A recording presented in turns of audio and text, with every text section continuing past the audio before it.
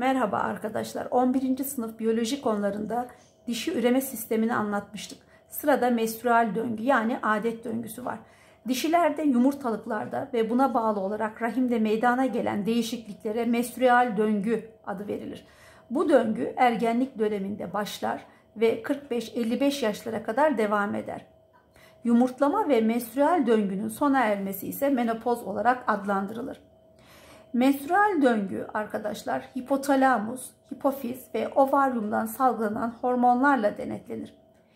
Biliyorsunuz hipotalamustan salgılanan RF yani relaktif edici hormon hipofiz bezini uyarıyordu. Hipofiz bezinin uyarılması ile buradan FSH ve LH hormonları salgılanıyordu. Aynı zamanda ovaryumdan yani yumurtalıktan ise östrojen ve progesteron hormonları salgılanıyordu. Menstruasyon periyodu e, folikül, ovülasyon, korpus luteum ve menstruasyon evrelerini e, kapsıyor ve ortalama 28 gün süren bir periyot. Menstruasyon periyodunu şu şekilde e, şema halinde gösterebiliriz. E, ilk evremiz folikül evresi, ikinci evremiz ovülasyon evresi, korpus luteum evresi ve sonuncu evrede menstruasyon evresi olarak adlandırılıyor. Şimdi folikül evresini anlatmaya başlayalım. Yumurtalıklarda bulunan foliküllerden genellikle bir tanesi gelişiyordu ve döllenme özelliğine sahip bir e, yumurta hücresi bu evrede oluşuyordu. Folikül evresinin yaklaşık olarak uzunluğu 10 ila 14 gün arasında.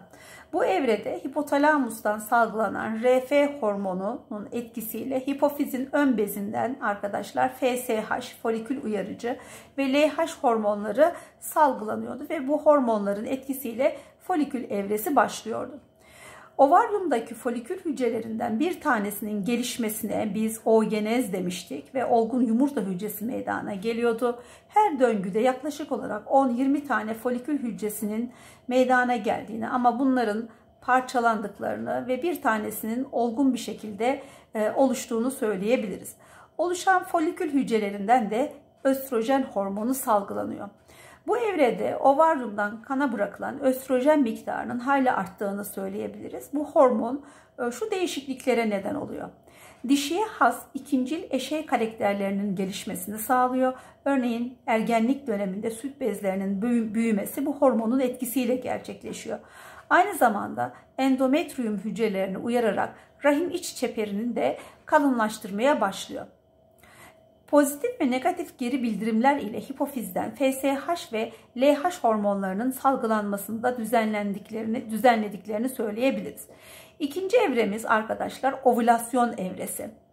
Ovülasyon ne demek? Olgunlaşan yumurtanın folikülün yırtılmasıyla yumurtalıklardan dışarıya atılması olayı.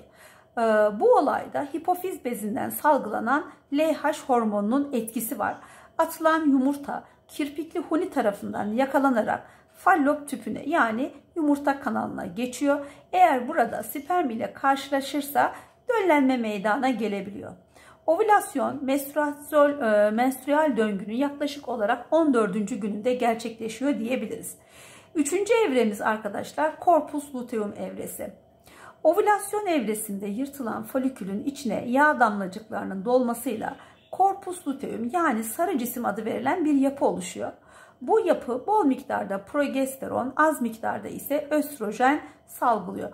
Burada bir notumuz var. Progesteron ve östrojen hormonlarının birleşik etkileri hipotalamus ve hipofiz üzerinde negatif etki uygulayarak FSH ve LH salgılarını azaltıyor arkadaşlar. Progesteron hormonu endometriyumu uyararak embriyonun tutunup gelişmesi için hazır hale getiriyor. Bu süreçte uterustaki endometriyum dokusunda bir takım değişiklikler gelişiyor. Bunları şöyle sıralayabiliriz. Kılcal damarlar genişliyor, kan miktarı artıyor, mukus salgısı artıyor arkadaşlar. Kalınlaşarak süngerimsi bir yapı kazanıyor. Eğer döllenme olursa embriyo endometriyuma tutunuyor ve artık gelişimini burada tamamlıyor. Hamile bayanlarda LH hormonunun etkisiyle korpus luteum bozulmuyor ve hamileliğin 5. ayına kadar progesteron buradan salgılanmaya devam ediyor. Ama hamileliğin ilerleyen dönemlerinde artık e, progesteron salgısı plasenta tarafından gerçekleştiriliyor. Dördüncü evremiz arkadaşlar menstruasyon evresi. Eğer yumurta döllenmemiş ise bu durumda korpus luteum'un bozulduğunu ve progesteron salgısının azaldığını söyleyebiliriz.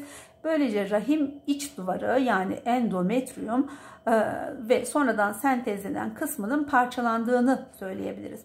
Döllenmemiş yumurta ile birlikte rahime ait doku parçalarının bir miktar kanla beraber dışarı atılmasına biz menstruasyon yani adet görme diyoruz.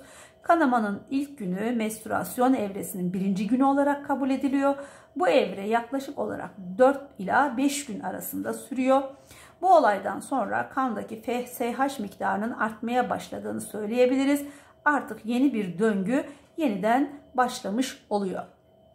Şimdi arkadaşlar şemada hormonlarla e, menstruasyon periyodunun nasıl geliştiği gösterilmiş. Birinci şemamızda hipotalamusun RH hormonunu salgılamasıyla birlikte hipofizin ön lobundan FSH ve LH hormonlarının salınımı gösterilmiş. FSH'ın etkisiyle e, folikül büyüyor ve folikülün içerisinde bir e, yumurta hücresi olgunlaşıyor. Şu evrede ise LH'ın etkisiyle folikülden yumurta hücresinin atıldığını yani ovülasyonun gerçekleştiğini söyleyebiliriz. İlerleyen aşamalarda yırtılan folikül kesesinin yerine korpus luteum yani sarı cisim meydana geliyor. Bir diğer şemamızda ise e, yumurtalıktan salgılanan östrojen ve progesteron hormonlarının miktarını görüyorsunuz. Folikül evresinde östrojen miktarının e, zirve yaptığını, ovülasyonla birlikte, birlikte yırtılan folikülden atılan yumurta hücresi ile LH miktarının yükseldiğini, daha sonra e, yırtılan kesenin yerine oluşan korpus luteum'dan ise progesteron salgısının arttığını söyleyebiliriz. Son periyodumuz ise menstruasyon evresiydi. Bu e, menstruasyon periyodunun ilk 5 gününe rast geliyor. Endometrium tabakasını görüyorsunuz. Endometrium tabakası ile bir miktar kanın ve döllenmemiş yumurtanın dışarıya atıldığı evre ise menstruasyon evresi olarak adlandırılıyor. Arkadaşlar bu haftalık sizle anlatacağım konular bu kadar. Hepinize güzel, sağlıklı günler diliyorum.